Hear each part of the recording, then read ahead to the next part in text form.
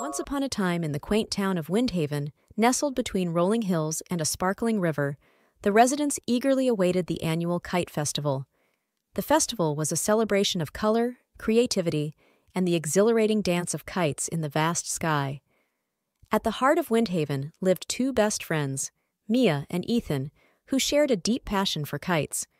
They spent weeks crafting their own unique kites, each one a reflection of their dreams and imagination. As the festival day dawned, the town square transformed into a vibrant sea of colors, with kites of all shapes and sizes dotting the azure sky. The air buzzed with excitement, and laughter echoed through the streets as families and friends gathered to revel in the festivities. Mia and Ethan couldn't wait to fly their kites, and with a shared grin, they released their creations into the sky.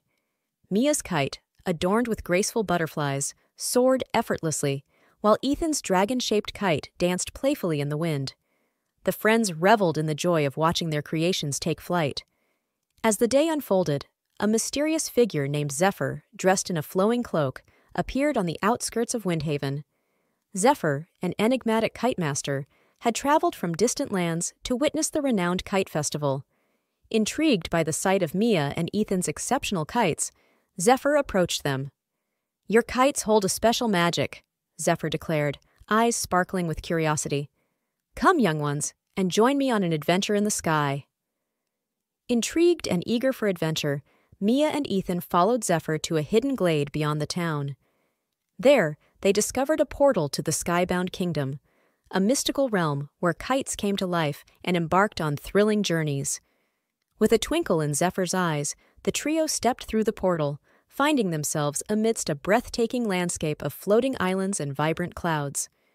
Mia's butterfly kite and Ethan's dragon kite transformed into living beings, ready to embark on an epic adventure. Guided by Zephyr, the friends and their animated kites soared through the skybound kingdom, encountering challenges and making new friends along the way. They raced against swift winds, outsmarted mischievous cloud creatures, and even engaged in a friendly kite joust with the skybound knights. As the day drew to a close, Mia, Ethan, and Zephyr returned to Windhaven, their hearts brimming with stories of their skybound adventure. The townspeople marveled at the tale and the Kite Festival took on a new enchantment, with everyone inspired to dream big and reach for the skies. And so, in Windhaven, the annual Kite Festival became not only a celebration of creativity and color, but also a reminder that sometimes the most extraordinary adventures await those who dare to dream and let their kites carry them to new heights. Moral of the story Dare to dream, for in the sky of imagination, ordinary kites can lead to extraordinary adventures.